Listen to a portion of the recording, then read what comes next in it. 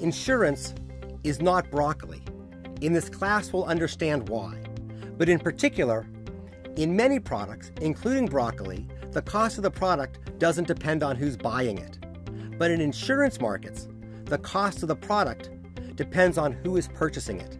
In healthcare economics, you'll get insights into the complex industries that comprise this sector and learn what economic forces are shaping the sector.